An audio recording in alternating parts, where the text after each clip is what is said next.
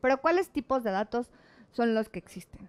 Ok, tenemos los tipos de datos no estructurados. ¿Estos cuáles son? Bueno, todos los no estructurados son archivos de texto que van desde hojas de cálculo, presentaciones como las que están viendo ustedes aquí, correos electrónicos, que hoy voy a hacer un paréntesis, pero se los explico, algunos registros, todo lo que ustedes ven en redes sociales, como comentarios, datos de Facebook, Twitter, LinkedIn, imágenes, datos móviles, sus mensajes de textos o las ubicaciones, las comunicaciones de chat, de mensajería instantánea, audios, formatos MP3, bla, bla, bla, todos esos son los datos no estructurados, típicos que genera el hombre. Los estructurados son aquellos que tienen, eh, justo como le dice su nombre, una pequeña estructura y pueden ser desde números de teléfono, algunas eh, identificaciones de geolocalización, pero por código postal, no nada más como estoy aquí, ¿no? Que no, no es hacer el check-in en algún lugar, sino es ya poner el código postal como tal. Y estos viven en datos relacionados, datos relacionales en RDBMS. Y hay algunas cadenas que son como de longitud variable con nombres y, registros que son muy muy fáciles de buscar.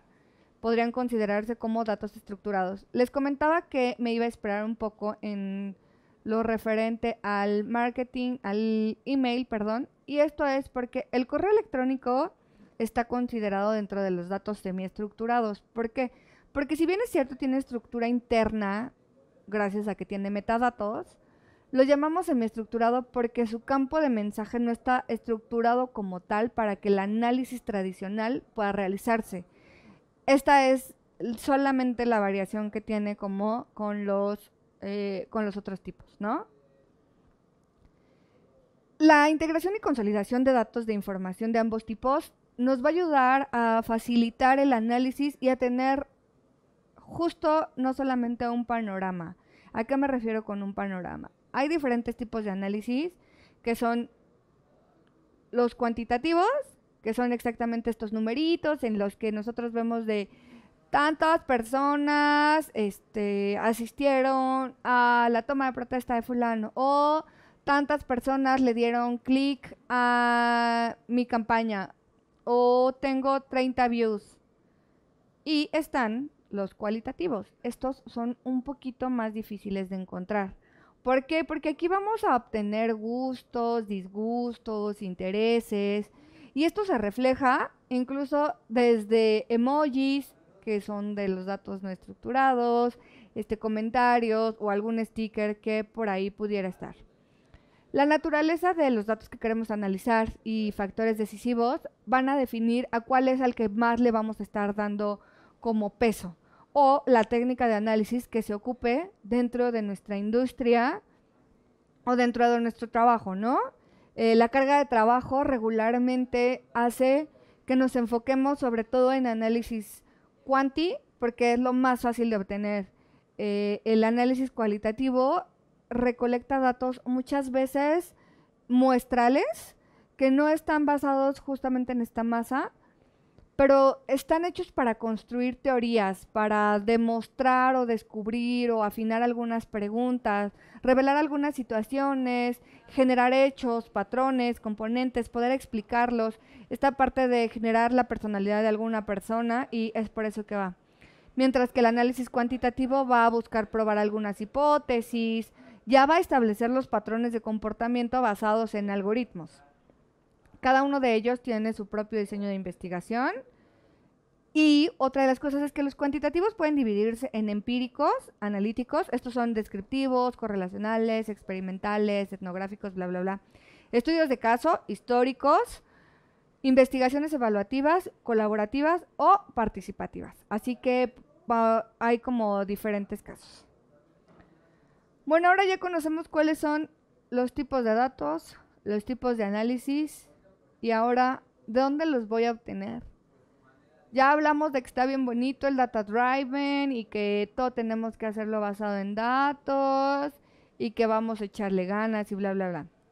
Pero uno de los problemas con los que nos enfrentamos comúnmente es la obtención de datos. Sin embargo, existen miles de formas en la actualidad que podemos obtenerlos. Así de fácil, hay 75 billones de dispositivos utilizados por todas las personas en el mundo. En actividades masivas podemos ocuparlos también, podemos obtenerlos en actividades de BTL, en alguna exposición, esos stands pequeños que también ustedes ven en algunos lugares y que te dicen, oye, este, te voy a regalar una, un yogurt si tú me pones aquí tu nombre y tu correo. Son algunas formas o técnicas de datos que podemos ocupar si es que no queremos eh, meternos como solamente en lo digital. Pero ¿en qué beneficia el uso de data driving? O sea, ya me gustó lo que tú estás diciendo, pero ¿cómo llego y le digo yo a mi jefe, ¿sabes qué? Necesitamos volvernos data driven porque nos va a beneficiar. Bueno, para la marca para la que estamos trabajando o, la que estamos representando, va a influir en una mejora de percepción en cuanto al cliente, ¿no? Va a tener una mayor visibilidad, vas a poder lograr un mayor alcance, algunas veces sí se va a ver reflejado como en ventas, otras van a ser en mayor cantidad de suscripciones y es lo que tú necesitas, que eres como alguna revista o algo así. Pero además eh, no solo se toma en cuenta las marcas, se incluye y también sobre todo le va a impactar a los clientes, ya que vamos a generar una mejor experiencia de usuario. Entonces, ellos van a obtener desde esta parte campañas personalizadas que les van a gustar más y que van a ser más afines. Y si a ellos les gustan más, tú vas a, vas a estar dentro de su top of mind y, y va a ser como este círculo de la virtud que nos va a ayudar a todos, ¿no? Recolectar y analizar datos de las personas de forma correcta nos va a ayudar a generar patrones para influir en el éxito o fracaso de una campaña. Esto es bien, bien, bien complicado, pero también bien aplicado nos genera eh, aumento de, insisto, esta visibilidad, ¿no? Una mayor empatía con el cliente y esto es lo que todos estamos buscando. Podemos aplicarlo desde casos muy sencillos como conocer, por ejemplo, ¿Cuál es la red social que usa nuestro público objetivo? ¿Por qué lo digo así? Porque regularmente vemos que no falta el que llegue y te dice, es que no inventes, está saliendo TikTok y está rompiendo la cañón y hay que meternos a, TikTok y crear nuestro perfil porque es lo máximo. Y resulta que tú vendes herramientas y desarmadores.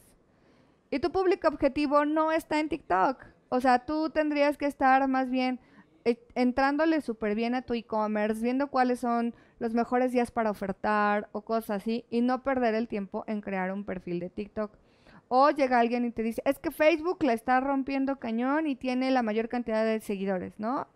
Y, y por ahí tendríamos que estar porque el 98% de los internautas en México tienen Facebook, ¿ok?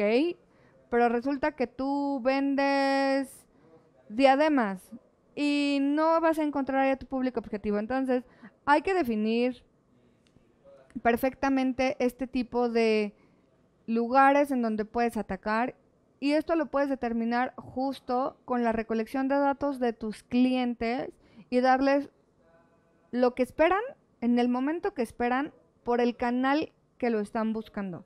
Ahora, les decía, la obtención de datos en la actualidad pues es un problema eh, sobre todo debido a la inseguridad que todos estamos viviendo, ¿no? Eh, sabemos de un montón de casos en los que te roban tu identidad y compartirla es como bien difícil y no me van a dejar mentir. Cuando preguntas algo, lo primero que te dicen o a lo que nos enfrentamos los investigadores es a esta imagen. Es súper familiar para todos nosotros verla. Oye, ¿me puedes dar tu nombre? como para qué o qué, o sea, ¿por qué la quieres? ¿No? Eso es algo que ocurre mucho. Y si por alguna razón logramos conseguir estos datos, empezamos a preguntarnos, oye, ¿están completos? ¿Están bien?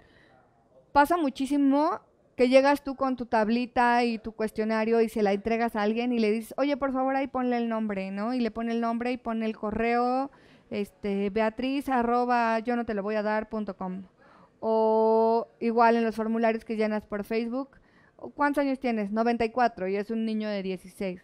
Entonces empezamos a hacernos este tipo de preguntas de, híjole, ¿serán reales? ¿No están reales?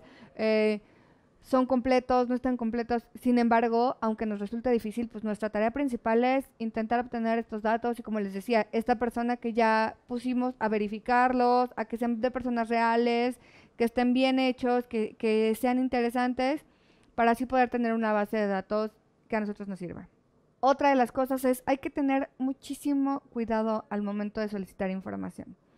Hay que preguntarnos desde cosas tan sencillas como si lo que yo voy a preguntar tiene que ser público o privado. Si ustedes van a un consultorio médico, y esto es algo que hasta meme lo han hecho, llegas al consultorio médico o al ginecólogo o, o ya con tu mamá y el doctor te dice, ¿cuántas parejas sexuales has tenido? Y tu mamá voltea a verte con cara de, ah, ¿qué vas a contestar? Es como, dude, obviamente no te voy a decir absolutamente nada. o sea, el dato que el doctor quería recolectar era exclusivamente para tu salud, no estaba involucrado con algo moral, sin embargo, no tuvo el cuidado necesario para hacerlo en el entorno en el que tú te sintieras cómodo. Entonces, en el momento en que nosotros vamos a obtener datos, hay que ponernos en el lugar de la otra persona, en el lugar de nuestro encuestado. Híjole, estas preguntas se las puedo hacer en público o necesito hacerlas en un lugar más privado, a puerta cerrada o en una pequeña salita, ¿no?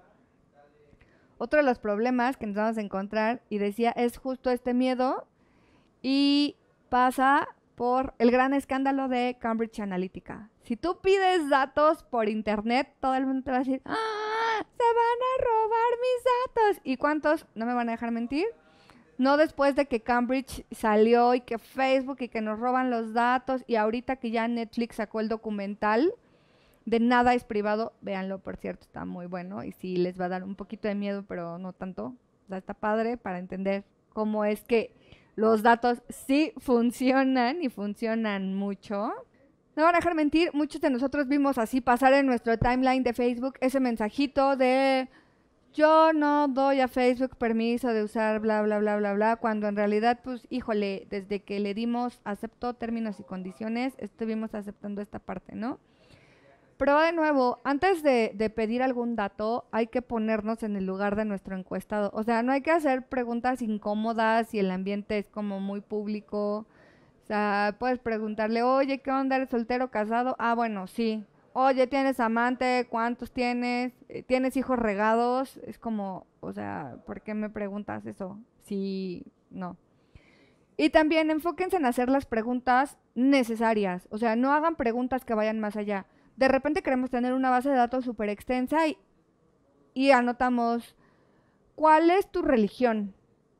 ¿Cuántas horas al día pasas viendo telenovelas? ¿Cuántas veces a la semana vas al baño? Y resulta que tú lo único que estás haciendo es vendiendo jabón en polvo. Pues, son preguntas que, perdón, no tendrían que estar como involucradas dentro de tu cuestionario. No hagas preguntas que no necesites. Esto puede hacer que la gente pues se aburra en el mejor de los casos y te diga, no, sabes que muchas gracias, ya no, o, desconfíe o incluso se moleste y te diga, pues la verdad es que ya no quiero como saber nada, ¿no? Ahora otra de las cosas, puedes hacer encuestas anónimas en las cuales el nombre no vaya incluido, sobre todo si quieres hacer como, como solamente patrones y demás, y no estás como enfocado tanto en campaña de target. Em, una de las cosas que más recomiendan es mandar o mostrar el aviso de privacidad en la cual se súper asegure que pues, tu nombre no va a salir, ¿no? Y, y en esta época pues creo que es como súper importante. Para preguntas de perfil demográfico, eh, como ven aquí, están unas grafiquitas, bla, bla, bla. Y se crean, estos son como muy fáciles de crear. Es utilizando preguntas de opción múltiple, sobre todo es como más fácil y son respondidas en minutos. Algunos ejemplos de estas encuestas demográficas, como pueden ver aquí, van como relacionadas con la edad, la etnia, el sexo, el estado civil, eh, empleo, ingreso familiar, bla, bla, bla. Pero si ustedes las hacen como de opción múltiple, es más fácil que las quieran contestar. O sea, si yo digo, ¿cuánto tienes? De 18 a 23 años, de 24 a, no sé, 31. Es más fácil a que alguien quiera contestar, ahí tengo veintitantos, ¿no? Porque nos da como issue la edad o ¿Cuál es tu ingreso familiar? O sea, güey, ¿por qué te va a decir cuánto gano? ¿O por qué te va a decir cuánto es que tiene mi familia? Eh, si das un rango de 20 a 40 mil pesos, ah, dices, bueno, puede ser aquí, o de 10 a 20 mil, ah, bueno, aquí, ¿no? Aquí entro porque no sabes exactamente cuánto y entonces no me puedes secuestrar o no me puedes tachar de pobre o no me puedes tachar de, no sé, un montón de cosas. Pero supongamos que esto no pasa y que no podemos obtener los datos y que ya nos paramos 80 veces afuera de el Oxxo y nadie nos quiere contestar una encuesta y no tenemos la lana suficiente como para contactar a agencias buenísimas que se encargan de obtener este tipo de datos cualitativos. La verdad es que los datos demográficos pues podemos encontrarlos en internet, eh, van a tener cierto rezago pero son como bastante fáciles.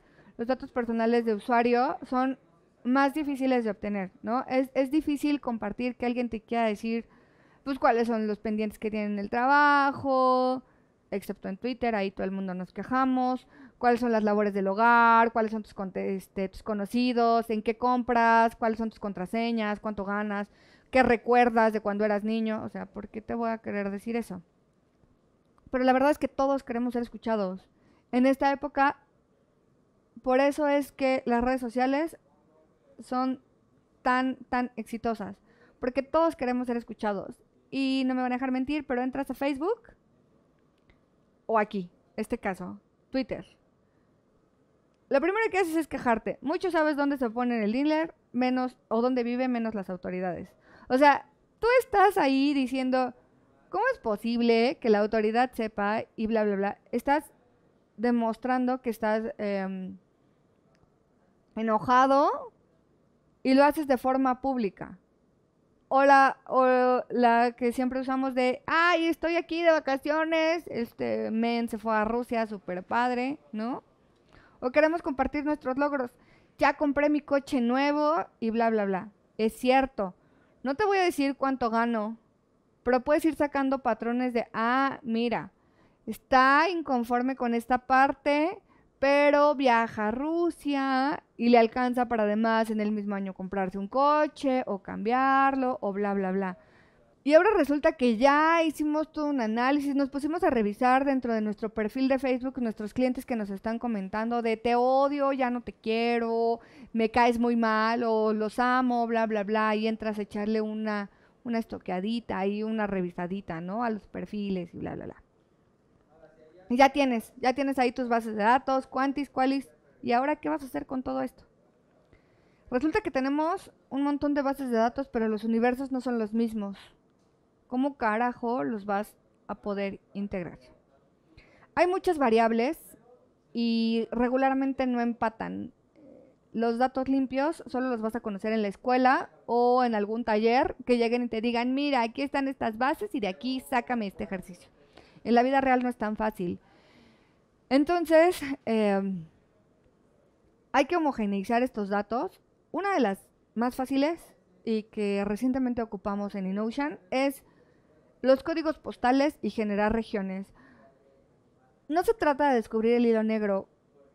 Lo que pueden hacer es buscar si ya existe alguna metodología aplicada como para su industria y ustedes hacer lo propio dentro de su agencia o dentro de su ámbito para poder tener comparativos al mismo nivel. Si resulta que lo que se mide, lo que ustedes ven se mide por áreas Nielsen, háganlo de esta manera. Si lo que ustedes hacen es eh, medible mediante el nivel, de bienestar, háganlo de esta manera, ¿no? Aterrícenlo así por códigos postales, por regionalizaciones, por productos, por ventas. Eh, es como la, la manera más fácil en la integración de datos, poder hacerla en un comparativo que ya exista para poder compararnos con nuestro competidor. Hay varios niveles en los que se puede realizar una integración de datos y también hay diversos grados de automatización.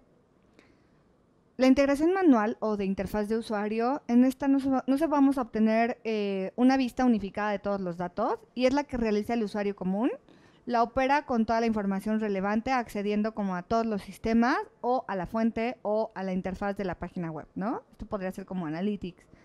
La integración basada en aplicaciones, esta, como lo dice su nombre, requiere aplicaciones que son particulares y se implementan en todos estos esfuerzos de integración.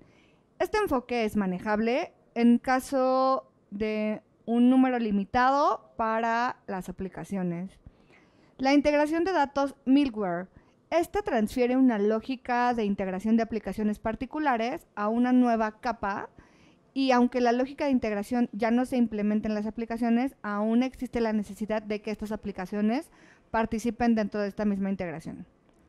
El acceso uniforme a datos o integración virtual deja datos en los sistemas de origen y define un conjunto de vistas para obtener y acceder a la vista unificada, los dashboards que les comentaba un poco. Entonces el cliente o toda la empresa puede estar como viéndolos y ya tiene ahí una latencia de cómo es estas actualizaciones de datos y cómo se va dando el sistema. Es una vista consolidada y no es necesario el almacenamiento por separado como de todos los datos consolidados, ¿no? Está también el almacenamiento de datos comunes o integración de datos físicos. Esta significa generalmente conservar una copia de todos los sistemas de las fuentes de almacenamiento de datos para tenerlos almacenados y administrarlos independientemente del sistema original. Los ejemplos más conocidos para este enfoque son los Data Warehouse o DW y los beneficios que incluye la administración de diferentes versiones de datos es combinar datos de fuentes muy diferentes como mindframes, bases de datos, archivos planos, etc. Y por último está la inserción física. Sin embargo, sí requiere de un sistema separado para mejorar y manejar como todas estas grandes volúmenes de datos. Esto es referente al Data Warehouse.